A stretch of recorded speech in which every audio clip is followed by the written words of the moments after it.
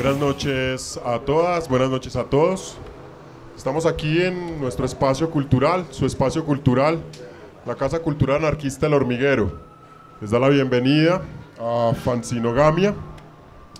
Eh, este es un espacio conversatorio donde dialogaremos alrededor del fanzine y lo que ha significado para la movida de la música, el arte y la cultura alternativa. Primero, pues presentar a quienes hacen posible esto, al colectivo Audiovisualmente en Disturbio, eh, un colectivo que desde hace varios años se mueve en el marco dentro de la escena punk en la ciudad, haciendo trabajo audiovisual eh, como una forma alternativa de mostrar lo que es el punk en la ciudad y en el país y en general en Latinoamérica. Y la Casa Cultural Anarquista El Hormiguero, que es el espacio de ustedes, el espacio de todas y todos, un espacio cultural para el encuentro, para la reflexión, para la crítica, para la autogestión y para la resistencia. Hoy eh, contamos con la presencia de eh, César de Helsain, una revista alternativa de música extrema, y de Sandra, una diseñadora independiente que también se ocupa del fanzine y es una gomosa de este asunto. Y tenemos el privilegio de contar con dos invitados internacionales, con Tito y con Brian, ¿sí? de Quito en Caos. Y un aplauso.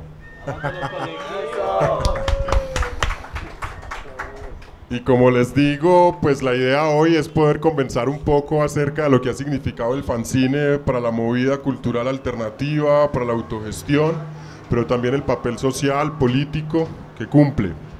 Entonces, yo tengo una batería de preguntas eh, programadas, eh, pero me gustaría primero que cada una y cada uno se presentara brevemente y nos contara un poco qué hace, quién es.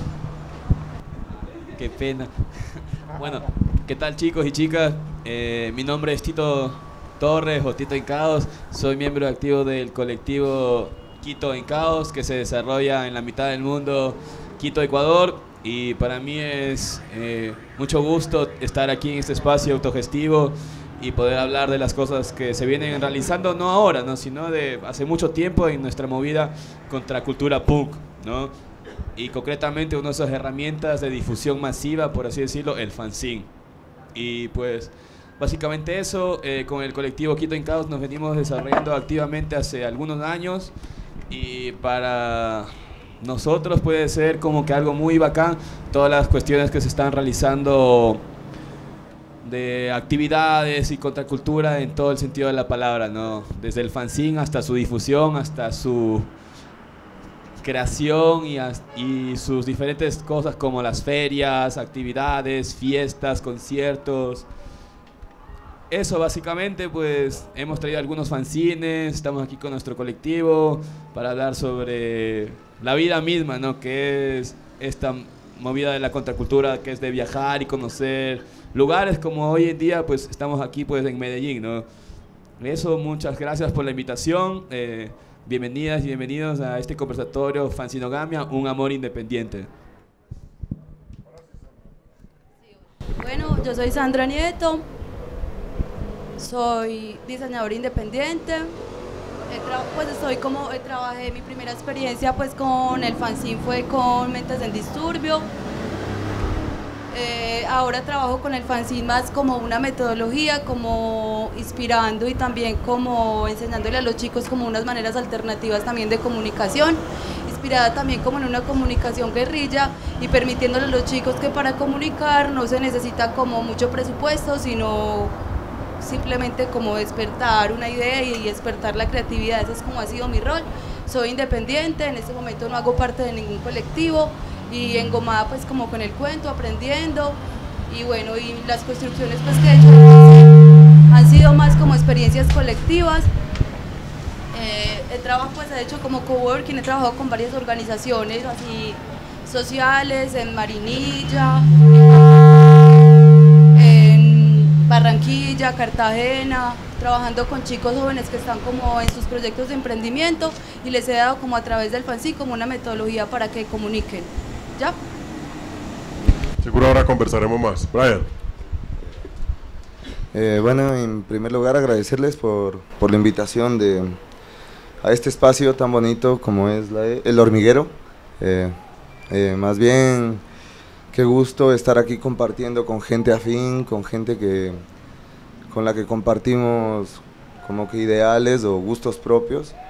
Y nada, mucho gusto, soy Brian Patiño, soy artista audiovisual, de fotógrafo de profesión. Eh, también me desarrollo en la serigrafía y en Quito en Caos hago producción de eventos, hago producción de, de mm, todas las actividades contraculturales que van acorde al, a la PUN meramente. Y gracias otra vez por invitarnos. Buenas noches, mi nombre es César Mejía, soy el director editor de la revista Helsign, eh, una revista tradicional de la ciudad, ya cumple este año 29 años. Una revista que la he desarrollado por pasión, por amor, por, por ganas de que la escena del metal en, de Medellín sea explorada en el mundo. Es un orgullo hacerla, un sacrificio también camellarla. Eh, me gradué de manejo de medios de comunicación comercial, lo cual también me sirvió mucho para darle otra visión a la revista después de un tiempo de para que le hice. Y aquí estoy para poderles contar mis experiencias y lo que mi tocayo aquí me pregunte. Bueno, creo que deberíamos comenzar eh, por poner un poco en contexto, sin pecar de academicismo, ni mucho más ni mucho menos. Me gustaría poner un poco en contexto. Digamos, el fanzine ha funcionado como una forma alternativa de comunicación, ¿no?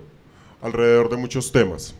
Mm, por allá de los años 40 cuando aparece el término para distinguirse un poco de esas publicaciones profesionales, el fanzine podría decirse que es una publicación que se hace por aficionados y para aficionados. Y eso le ha dado, digamos, como una dinámica particular en términos no solo de la forma como se construye, sino de la estética, el contenido y el mensaje. Entonces quisiera que comenzáramos eh, cada uno muy brevemente dándonos una idea de qué es un fanzine para cada uno, qué caracteriza un fanzine, qué es un fanzine y qué lo caracteriza. Me gustaría que comenzáramos con eso para poner un poco en contexto, no solo a quienes están aquí presentes, sino seguramente a quienes nos van a ver en un futuro. Lo vas a editar, ¿no? No sé quién quiere empezar. En orden. Un fanzine para mí es como, de hecho lo, es como hazlo tú mismo y verás quién eres, es como tener una convicción ahí plasmada y una idea hecha pues como, como un producto editorial.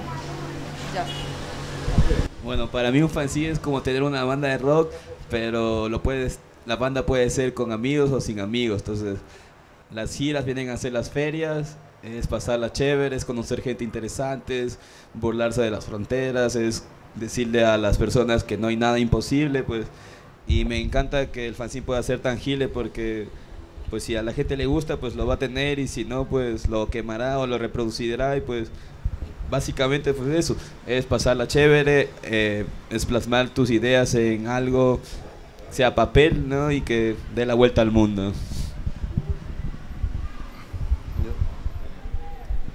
Bueno, para mí el fanzine eh, podría llegar a ser como el punzine, que es lo que a mí me gusta.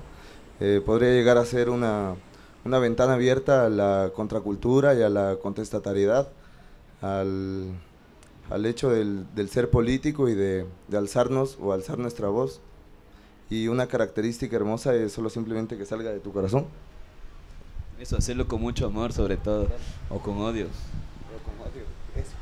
Un fanzine para mí es, es un sello personal e independiente que usted quiere dar a conocer a la nueva cultura que viene de abajo y tratarlos de sacarlos de la monotonía y el, y el monopolio de las grandes imprentas nacionales. Eso es fanzine para mí. De acuerdo con lo que dicen, yo pensaría, yo pensaría dos, dos, dos o tres cosas. Una, que el fanzine está estrechamente ligado a la autogestión y al hazlo tú mismo, ¿no? ¿Sí? Justamente eso lo aleja, digamos, de las formas profesionales estandarizadas y de producción en masa de otro tipo de publicaciones. Lo segundo es que el fanzine en términos, em, digamos, de contenido, supone algo alternativo. ¿sí? Incluso porque, digamos, cuando me encartaron con, yo soy el moderador de conversatorios, cuando me dijeron que lo hiciera, pues obviamente me puse como en, en- en la tarea de buscar un poco. Y, y en términos de la producción, el fanzine se caracteriza por, digamos, por lo manual, por la manualidad, por el... Sí, digamos, porque no, no cuenta con mucha, digamos, muchos dispositivos tecnológicos.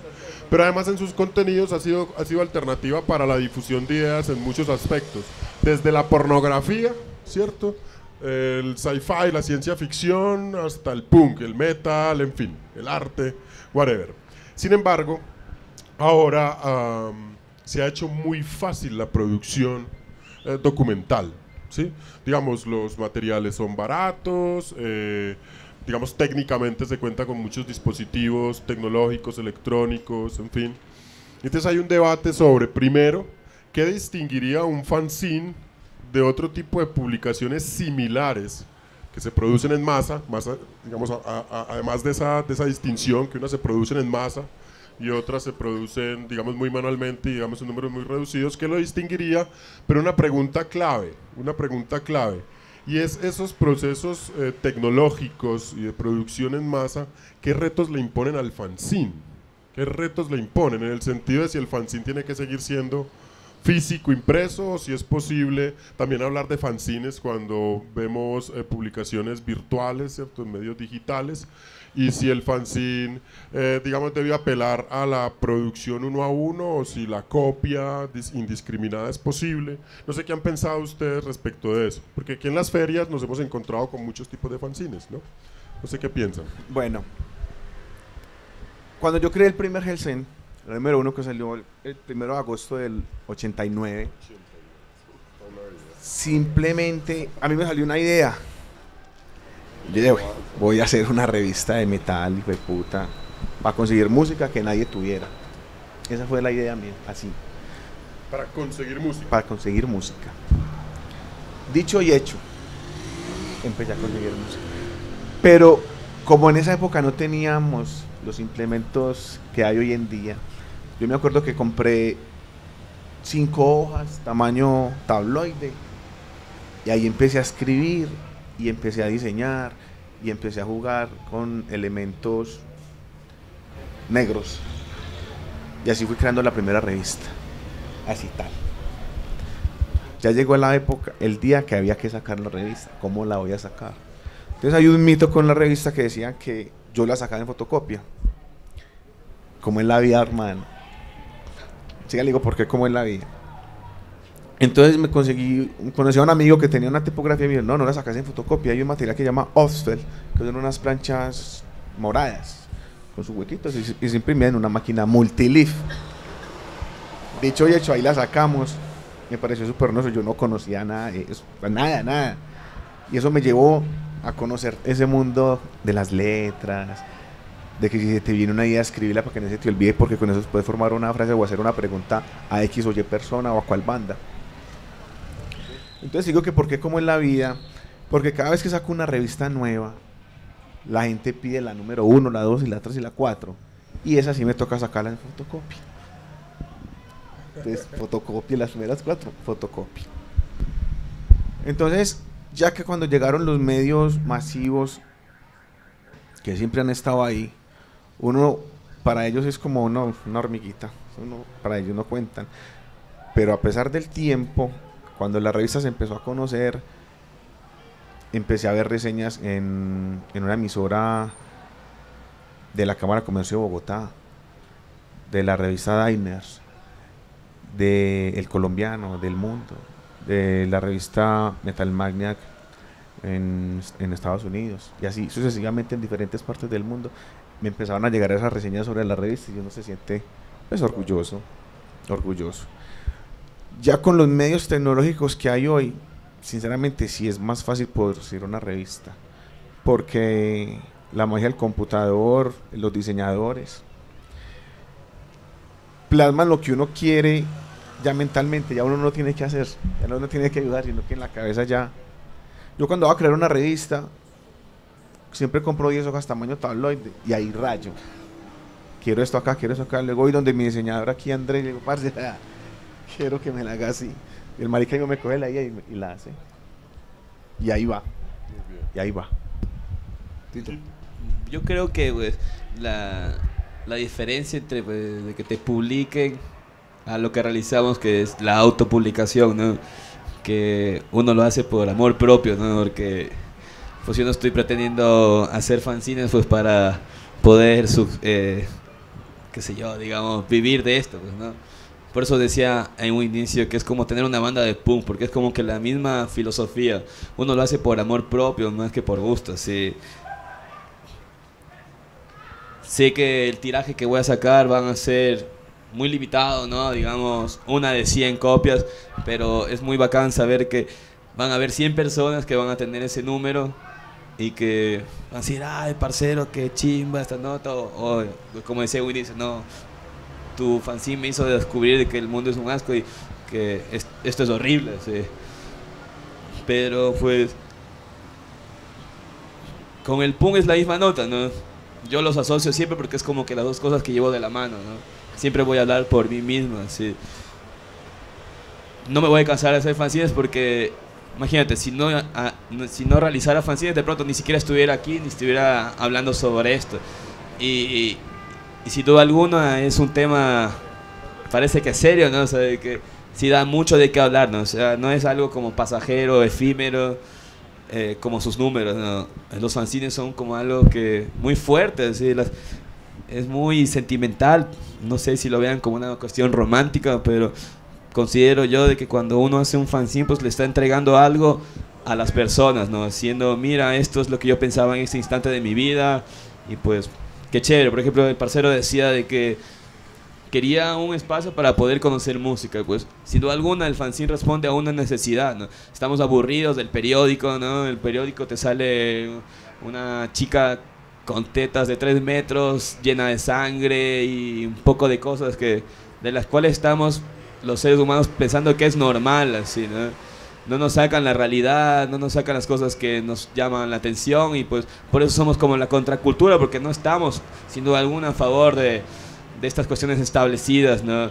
Y encontramos pues en el fanzine esa, esa plataforma así perfecta para, para decirles, como decía el Brian hace un momento, pues decir, hey, estamos aquí, ¿no? O sea, nosotros, mediante estas fotocopias, mediante estas impresiones en láser, en offset o como sea, estamos diciéndole a las personas, pues, que. Eh, manifestando diferentes eh, puntos de vista, ¿no? Sean gráficos, literarios, collage. Pero es como una comunidad. El fanzine y el punk es como que muy similar, ¿no? Porque, imagínate, esto, esto sería como que el equivalente a una tocada, ¿sí? Oye, va a venir la, banda de, tal lado, ¿sí? Va a venir un fancinero fancinera de otro lado y van a hablar cosas. Y pues estamos generando nuestros propios espacios en, esta, en este mismo instante, ¿no? Y es la única manera para, para poder deconstruirnos, porque siempre estamos acostumbrados pues a, a, esto es lo correcto, esto está bien, esto no, y, y pues pienso eso, así como retomando la idea original de, la autopublicación que vendría a ser el fanzine a la producción en masa que es una gran editorial, lo que te dice, hey Tito, ¿sabes qué? Estamos interesados en, tu, en tu arte, ¿no? En tu diseño o en lo que sea que realice gráficamente y pues queremos que publicarte, pero en este en esta editorial pues no está apto pues tus contenidos explícitamente crudos, ¿no? Y pues por eso creo que pues, hacemos fancircos, para decir, pues, a la mierda la censura, esto es libertad de expresión, esto es cuando uno quiere, no cuando el patrón me dice, ni porque me dicen cuando, tengo que hacerlo, sino uno publica porque es una necesidad urgente pues que tenemos, ¿no? Y jamás van a morir los fanzines. Esto es como el Pong, así. Mientras exista rebeldía, va a seguir existiendo personas que, que hagan fanzines, ¿no? Bueno, para mí, pues el fanzine y toda la construcción, como acá. Ay, no. ha sido como una experiencia súper linda, porque yo, por ejemplo, mi producción de fanzine, comencé haciendo como fanzine así digital, utilizando pues como herramientas como Illustrator, Photoshop, InDesign. Y hace un año y medio estoy aprendiendo como otra, otra herramienta que ha sido como algo más inmediato y manual. Entonces yo trabajo como con chicos y lo que hago es que utilizo como varios conceptos para su producción y no es como un permiso.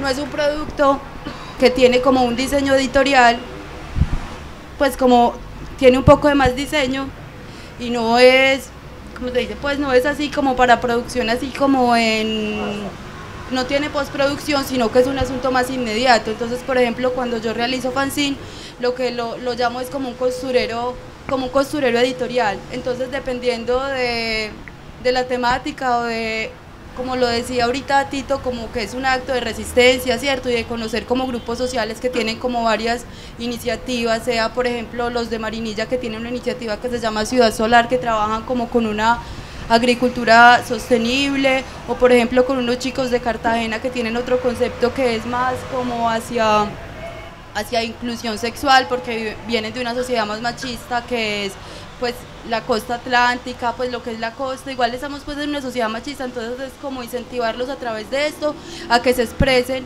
y lo hacemos de una manera más inmediata. Entonces, por ejemplo, cada uno construye algo y es así un costurero editorial, entonces lo que hago es como llevar revistas, tijeras, materiales como telas, tiras y empezamos como con una producción y ya luego si ellos lo quieren fotocopiar, porque también depende, lo fotocopian y lo empiezan pues como a difundir.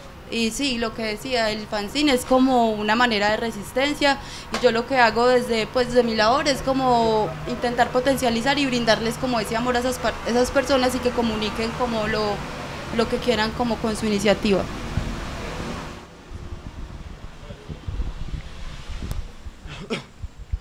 Eh, bueno, o sea, para mí eh, el fanzine es obviamente meramente desligado de, cualquier como que sentido capitalista o cualquier sentido de producción mm, podría decirse en masa de una como que buscando una ganancia podría decirse.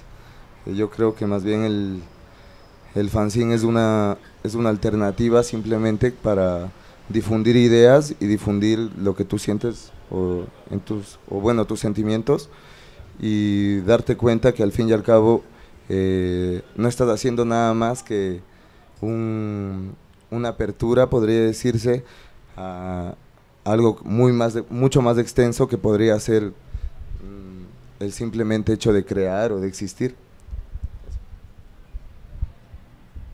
Oye, quería decir algo o sea, a mí el fanzine, si tú alguna, me recuerda así como que su palabra original, ¿no? Su significado original, por así decirlo, que es de la palabra fanática y, magazine, ¿no? O sea, estar aquí en Medellín me recuerda eso, o sea, es como... Bueno, sí, uno lo hace porque es como recordar esa parte que uno tiene como de seguidor, así de, de ¿por qué no? Si las personas, uno ha crecido con el falso concepto de, de como que uno, no tiene, uno tiene que ser un ser como por último, así que sin sentimientos, y pues no, yo soy una persona que si me gustan cosas y por qué no seguirlas así. Pues si me gusta una banda, pues vengo, ¿no? Y que sea una excusa para poderme reunir en, en un conversatorio sobre fanzines y eso mismo es el fanzine. Ah, qué bacán. Un amigo sacó un fanzine y está hablando sobre temas que me identifico, lo sigo. pero tenemos eh, hoy en día en el siglo XXI ese dilema, sino, pero no quiero demostrar debilidad con nadie, por así decirlo, y pues y uno se olvida de la esencia original pues del fanzine, que es eso de, de ser un, un, pequeño fanático, pues, ¿no? O sea, y no tiene nada de malo eso, así como que Oye, voy a seguir el trabajo de mi amigo, así, qué bacán. Pero espera, que ya tengo una pregunta para eso. Ah, me adelanté. Quiero, no, no, no, no, no, sino que lo comenzaste a introducir, pero digamos quiero, Sandra, un segundo. Digamos con, con la pregunta que hacía alrededor de la tecnología y, digamos las posibilidades de hacer, de hacer fanzines, digamos que este contraste es bien, bien bonito y bien interesante. Porque si el fanzine se traduce en una publicación hecha por fanáticos para fanáticos, es decir, una publicación que va desde la autogestión y para quienes creen en eso, digamos, un elemento elaborado tan manualmente, ¿cierto? Tan artesanalmente. Eh, exacto. No, no, no, en este momento ni siquiera me atrevería pues, a hablar como el valor o un asunto, digamos, elaborado en términos eh, técnicos, que tiene mucha más elaboración, ¿sí? Porque hay diseño, hay tiraje, bueno, en fin. eh, digamos que el fanzine juega en términos, en términos de su elaboración, desde, desde un asunto bien manual hasta un asunto, digamos, que tiene una elaboración mucho más eh, detallada, ¿sí? Entonces, por eso la pregunta era, la pregunta iba en torno a, en términos de la tecnología, por dónde se mueve el fanzine, ¿sí? Entonces eso me arroja a lo que, a lo que planteaba Tito, que si quizás, que si quizás la esencia del fanzine es su contenido, ¿sí? ¿sí? Amén de que es una publicación por y para fanáticos, digamos, tiene un contenido específico. La pregunta es, ¿los fanzines deben eh, efectivamente casarse con una causa, un motivo, un contenido específico, sí o no, y a cuáles le apuestan ustedes? No, no tiene que casarse con nadie. Por eso se llama fansinogamia, pues. Es el único amor fansinogámico, pues, por ejemplo, poligámico. Por ejemplo, cuando, cuando César crea Hell, eh, Hellsign, ¿cierto? Entonces lo dice cuando hizo su presentación. Le gustaba el metal y quería un espacio en el que pudiese conocer bandas y tal. Digamos que ahí había un motivo. Claro, es, que, un, es, que hay, es que hay un detalle, mira. Aquí me siento como cuando empecé la revista con ellos. Es así, se lo digo porque le veo el entusiasmo a él y, el poco de la rebeldía que, dice, porque yo también lo hacía así. Yo de la revista, sí, bacano y adelante, eso es un, eso es un, ideal bacano, que la gente lo lea a uno, o lo mire a uno, mire uno cómo dibuja o cómo escribe. Eso es, eso es, eso es así. Entonces yo pienso que, ay, se mueve la paloma.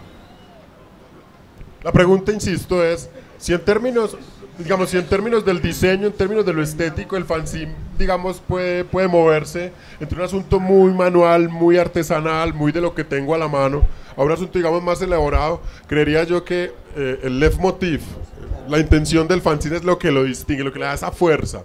Por ejemplo, una revista, una revista por más, una revista de producciones más de una editorial, digamos, por más sentido que tenga en función de un, de un tema al que le trabaje, le apuesta a lo que le venda.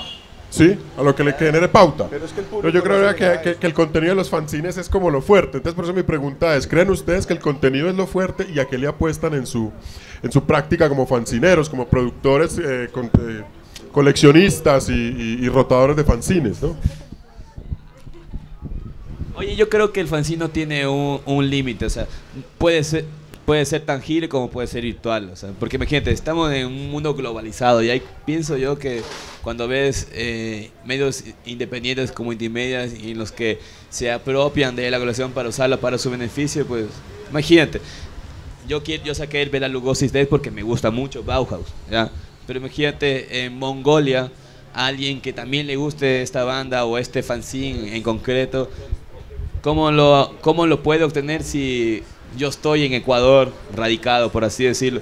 Entonces, pues lo subimos online, ¿no? Para que lo pueda descargar y él verá cómo lo, cómo lo interpreta. Porque además, imagínate, cuando tú editas un fanzine, creo que solo tú lo entiendes. O sea, no sé si les pasa a ustedes lo mismo. Si yo edito mis fanzines y no sé cómo, a veces ni yo mismo sé cómo después armarlos así.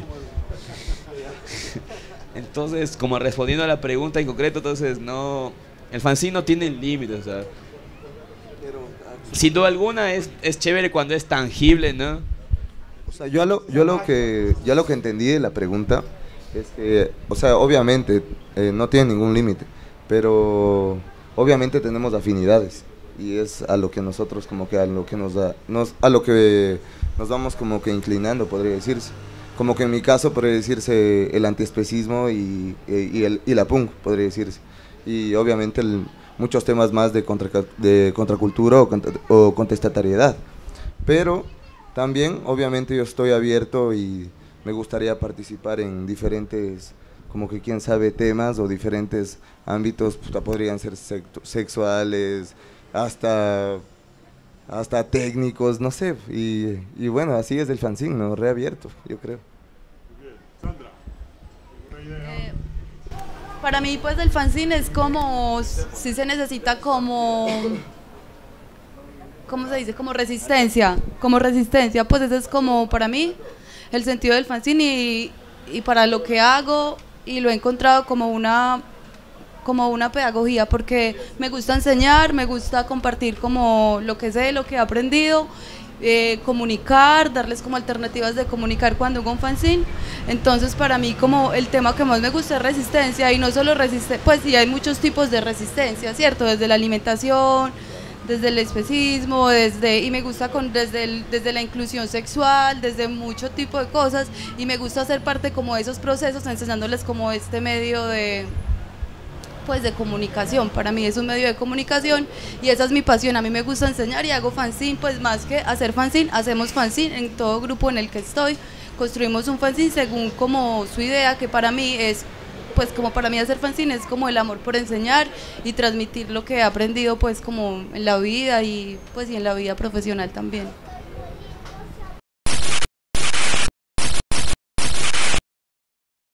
Bueno, ustedes eh, son fancineras, fancineros, fancineras, fancineros, Fancinebrios. fancinebrios, es decir... Fancinogámicos. Ok. Eh, no solo producen fanzines, sino que coleccionan fanzines, ¿no? Intercambian fanzines. Eso les ha permitido, digamos, moverse en distintos círculos en América Latina. Entonces quisiera que desde esa experiencia, no solo de producción, sino de intercambio, circulación de fanzines y de coleccionistas, eh, nos contaran cómo perciben la situación del fanzine en Latinoamérica en estos momentos, cómo la perciben. Oye. ¿Está bien, está mal? ¿Hay mucha gente haciendo cosas, pocas, que hay para hacer o qué? ¿Te acuerdas cuando alguna vez te dijeron cromo repetido no llena el álbum? Ya. Lo mismo es con los fanzines y los fanzineros. Es como que el tesoro de cada fancinero, creería yo, así como eh, acumular fanzines. Y que tu familia te diga, oye, ¿por qué tienes ese montón de papeles? Pero no los botes, son mis tesoros. Porque obvio, pues imagínate, yo no estoy a favor de, de la editorial tradicional, ¿no? Que son los libros que nos han vendido y la historia que nos han vendido. Entonces a mí me encanta tener fanzines, como les había compartido con los chicos que están eh, en, en, eh, en el resto del conversatorio. Y pues así nació el proyecto Diseño Muere, porque precisamente como tú dices, el fascinero que se respeta, por así decirlo, no sé si se respeta, viaja, pues. Porque si no, ¿cómo puedes eh, apreciar las realidades de otros lugares si no sales de tu mismo confort, ¿no? O sea, hay que cuestionarse a veces. Y pues cuando yo viajé, pues dije, va, voy a viajar y conocer la vida como es y acumular fanzines, pues. Y, y cuando acumulas fanzines también acumulas amistades, pues. Porque cuando yo me llevo estas, estos libritos, también me llevo un pedazo de ellos y de ellas, así, porque son personas que me dieron así su fanzine o se los compré porque en realidad estoy interesado en sus contenidos. Y pues la idea es eso, tener en algún momento una fanzinoteca física en la cual las personas puedan asistir y pues eh, ya no digan, denme el libro en el que descubrió Colón a América, sino denme el fanzine en el que los chicos de, de Medellín hablaban sobre, en contra del Colón y hicieron un cuento sobre la, la otra realidad. Y así, eh, ex- eh, etcéteramente, ¿no? Entonces, las fanzinotecas son como que sin duda alguna el, el- el vestigio, la, la evidencia pues de que esto es algo serio y corajudo, ¿no? Y que no es una cuestión así banal ni que efímera, ¿no? Porque que va a quedar para toda la vida, pues. Y pues sería chévere pues que en un momento pueda existir una gran fanzinoteca. Imagínate llegar a Medellín y decir, bueno, ya no voy a ir a tal lado, sino voy a ir a la fanzinoteca autónoma, al hormiguero. ok, la biblioteca, ¿cómo dice? O que las bibliotecas tengan un espacio donde haya fanzines de todo el mundo y uno puede ir, ir allá a verlos. Así. Un, ar- un R&B de fanzineros. así. Exacto, que cuca, no. Uf. El harén del ver. Este, este este. Se nos suma uno más. Hola, ¿qué tal? Eh, yo soy Juan Pablo, eh, formo parte activa del, del colectivo. Me gusta mucho expresarme a través de la, de la visualidad, de las imágenes. Eh, creo que escribo más en la calle que en mi cuaderno, pero eso me ayuda mucho para relacionarme con el espacio en donde yo quiero circular mis publicaciones. Y con respecto a la pregunta de qué momento está pasando Sudamérica, yo pienso que es es un momento importante en el que las medianas tecnologías están cobrando un espacio muy importante. Ahora una fotocopia, una cámara del celular, un, incluso un, una CNC router o un corte láser, que son tecnologías medias, se vuelven eh, dispensadores de información, generadores de conocimiento y se vuelven espacios en donde nosotros podemos expresarnos. Además, deslegitiman a las primeras o altas tecnologías como las únicas generadoras de contenidos visuales o contenidos impresos y o editoriales o visuales que sean de calidad o que tengan una propuesta para tensionar su entorno, ¿no?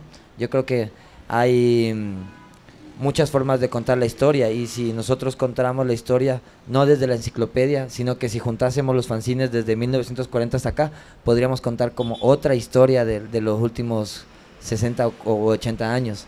O sea, algo que a mí me trae bastante del fanzine personalmente y fuera de la pregunta es que con las publicaciones tradicionales generalmente es un entrevistador o una persona ajena al tema quien relata su subjetividad del tema. En el fanzine lo diferente es que el protagonista es el narrador de la historia, ya no lo narra un tercero sino que uno mismo cuenta cómo fue la historia. No es lo mismo preguntarle a unos raperos cómo es el rap y qué sienten cuando hacen rap a que ellos mismos publiquen su, su versión del rap. A mí, por ejemplo, me gusta pintar y claro que me gustan las, las publicaciones en las que veo imágenes de pinturas, pero me encantan las publicaciones de graffiti en las que no hay fotos del puto graffiti, porque hay mucho más que contar que la foto de alguien que nos ve para muchas personas en el graffiti, por ejemplo en mi caso, el graffiti es una foto de un muro terminado que se ve bonito y tiene muchos likes y corazones y gente ahí tirando buena, gente, buena onda. Pero para mí el graffiti es más bien como desde que salgo de la casa con mi mochila a la hora X, voy, compro algo en la calle, me encuentro con mis amigos, eh, pinto, escapo de la policía, me alegro de ver a mis amigos que están a salvo y después regreso a la casa. Eso fue para mí el graffiti. No esa puta foto que, ni al caso. Y es similar con el, con el fanzine. En la autopublicación yo veo ese espacio. No es, la, no, es, no es contar la historia desde el resultado, sino desde el proceso.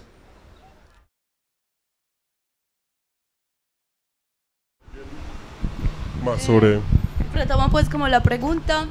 Pienso que pues que eh, ahora la movida pues como frente al fanzine eh, está como más abierta, pues o por lo menos uno tiene más acceso gracias también como a las redes sociales, entonces entonces hay como, y también hay como otras iniciativas de librerías independientes, por ejemplo, como el parcero Camilo con Librería Mutante, que también está como gestionando como eso, el hormiguero, la valija de fuego en Bogotá, que también genera como una pequeña, es como para mí es como entrar a una juguetería, pues es como uno ahí estar parchado y ver qué se está haciendo. Es por ejemplo en varias tiendas así fuera del país a mí cuando uno entra y saber que uno está viendo pues como fanzine del lugar donde uno es, saber también qué se está contando, me parece una nota, la movida está creciendo mucho, en Bogotá lanzaron como algo así como una fanzinoteca nacional, entonces una nota es una movida que se está expandiendo demasiado y yo siento que ahora es como un boom como nacional, también lo ha permitido mucho como las, pues, las redes sociales, eso es inevitable,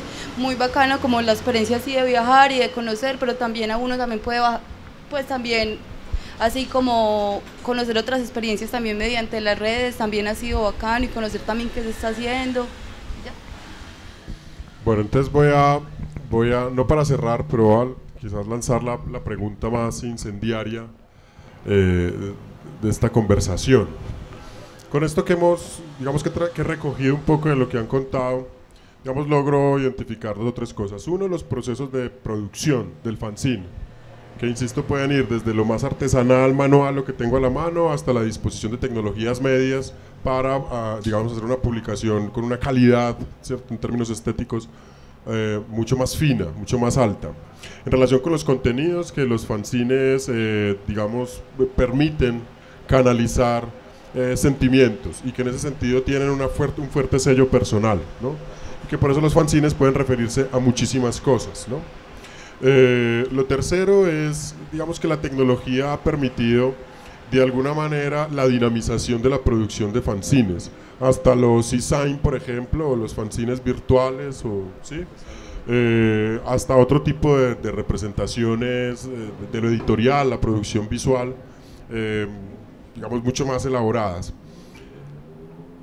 Cuando comparo eso con, con, la existencia de plataformas, voy a ponerlo, digamos, en una comparación con la música, para seguir hablando de punk, que es lo que nos congrega a muchos, pues acá hay muchas acá. Cuando salen las plataformas de música por demanda, ¿sí? comienza a haber una dinámica en relación con la música mucho más efímera. Pongo mi ejemplo, ¿no? Cuando yo coleccionaba cassettes regrabados, regrabados, ¿cierto? Con debajo, digamos, uno se tomaba todo el tiempo de grabar el cassette, escucharlo en tiempo real, tomar la carátula o hacerle una y copiar los, los, nombres de las canciones, el título del trabajo, el nombre de la banda, tratar de emular un poco el diseño, si tenía acceso a la carátula original. Eh, se sabía los tiempos, el orden de las canciones, se sabía las letras, incluso podía uno llegar a identificar trivias de la banda, esto fue grabado en tal parte, tal día, tal hora, a Peranito a Sutanita le pasó tal cosa, ¿no? Entonces digamos que había un vínculo muy profundo con la producción musical, que esa nostalgia puede expresarse en fanzines, digamos, que, que, que expresan esas características, ¿no? ¿Sí? Y que convocan a la colección, como lo plantea Tito, ¿no? A coleccionar, y a, acumular. Ahora con las plataformas streaming, pues la gente no escucha trabajos completos de bandas o no suele escucharlos, se sabe una que otra canción que es la exitosa, que es la que suele rodar con frecuencia o en la emisora o que se reproduce automáticamente en la plataforma, en YouTube, Spotify, bueno, whatever, en la que, en la que se utilice y difícilmente coleccionamos. Entonces la pregunta es, si esa dinámica de producción, por la facilidad que tiene del fanzine, eh, genera dos efectos perversos. Mi, inquietud, mi preocupación, que en realidad es de Subero, es si hay un proceso de domesticación del fanzine y de banalización de la producción del fanzine. Esa, y, y, si existe eso, ¿cómo resistirle a eso? Es decir, si debe haber cierta nostalgia por recuperar eso, es esto el impreso, la circulación, la colección, o si resulta algo positivo que haya un boom una explosión de fanzines. yo tengo la. Agarrémonos. Tengo. Mira, tengo la respuesta a tu pregunta. Se llama Vera Lugosis Dead. Es una canción de Bauhaus hecha fanzine. Y es respondiendo a esta vaina de ser fanático. A mí me encantan muchas canciones. Y pienso que los primeros fanzines eran los cancioneros de los discos, ¿no? Era el primer contacto así como que de libritos que tenía de, una banda, ¿no? Porque sin duda alguna el fanzine ha estado muy arraigado a la música, ¿ya? Era como que eh, uno de sus medios para, de difusión, sin duda alguna, ¿no? Pero entonces a mí me gustan muchas canciones, ¿no? Encontré como que chévere y, y era, y es como que un, un, un intercambio, pues podría decirse podría así decirse. Cuando tú decías lo de las bibliotecas y Sandra decía, no hay lugares como la valija de fuego en la que uno se siente como un niño en una juguetería. y es total, porque es como, ya, pues ya crecimos, pues no, ya somos unos adultos y, y más uno se puede divertir, ¿no? Pues a mí me encanta ir a la valija porque es como muchos libros, fanzines, y ahí encontré un proyecto que creo que era el rock para colorear así, que, traía así las canciones de las canciones así de, de de Billy Idol, de The Cure, dije, nah, esto yo también tendría que como que reproducirlo a mi manera, obviamente, ¿no? Porque eso es una retroalimentación. Dije, no. Y así se maneja esto. Es lo mismo con las bandas tú vas con tu punk hardcore a, Suecia y dices, no, voy a hacer esta nota también, esos sonidos nórdicos. Y lo mismo sucede con, este, con esta vaina del fanzine. Yo lo considero como que uno tiene ahí como que un canal muy extenso en el que no tiene ningún límite, pues y me devuelve esa vaina así como que devuelve así como que como niño así de de creer Pásame un pañuelo, pues, gonorrea. Entonces ya, pues esa sería como que la tu mi respuesta a, tu pregunta, ¿no? De, yo, pienso, yo pienso que a medida que uno va haciendo el fanzino, el magazino, la revista, cada vez que tú la sacas, cada vez que tú la sacas, sin querer queriendo, la gente se vuelve fan de la revista y por ende, no fan de ti, pero sí te, cogen un respeto porque tú haces algo que está difuyendo el movimiento underground de la ciudad a través de, las letras y de las páginas.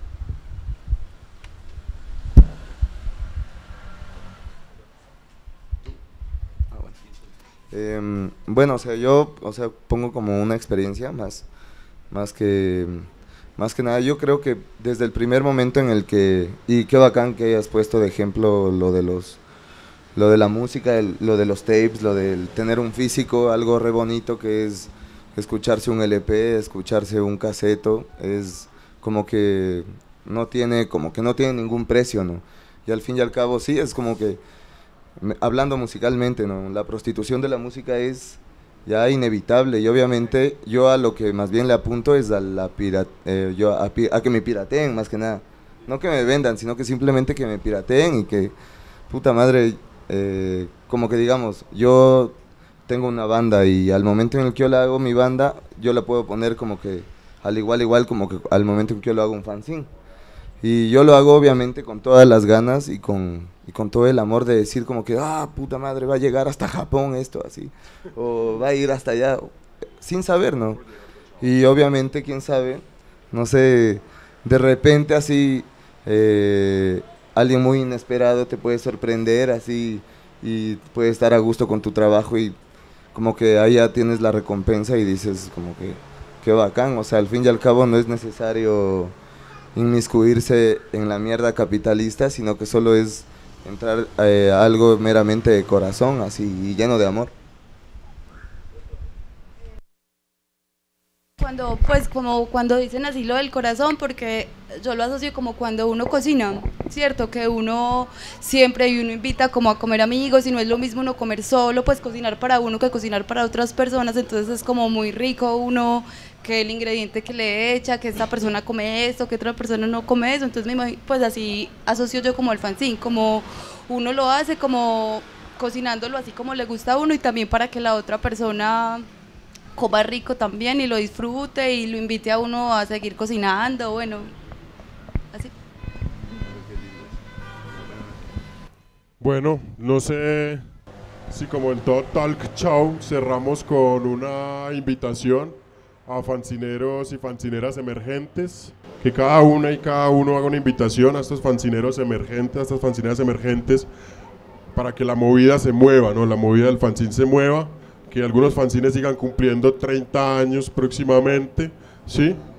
Eh, y como digo yo en el PUN, hagamos bandas que paso vinimos eso, pues, que nunca mueran las ferias, es el único medio, de, eh, bueno, no es el único, pero sí es uno de los más chéveres para poder compartir y conocer el trabajo directo que hacen los compañeros, las compañeras, sobre estos papelitos llenos de colores y de esperanzas y de odio, amor y, de diferentes cosas, pues están todos y todas invitadas a, esta feria que viene y a todas las que se vienen eh, en lo que queda del año y las que vienen, que seguro serán muchísimas y muchos fanzines. Nada que, que asistan, que mm, nunca mueran los fanzines, que el pum, la rabia, la resistencia siempre estén en nuestros corazones y que, que mierda, sí, solo no dejen de hacer fanzines y que vive el hardcore punk. Brian va a estar ahí, eh, ya se queda, ya se queda, denle en casa. Y para adelante muchachos con esta estrategia que tienen ustedes de video, me gusta, bacano. Eso, aguante mentes en disturbios y la casa también.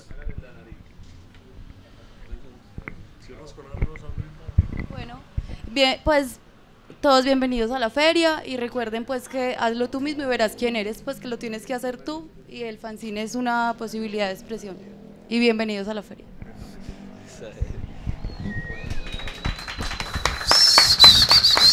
Saca la chela.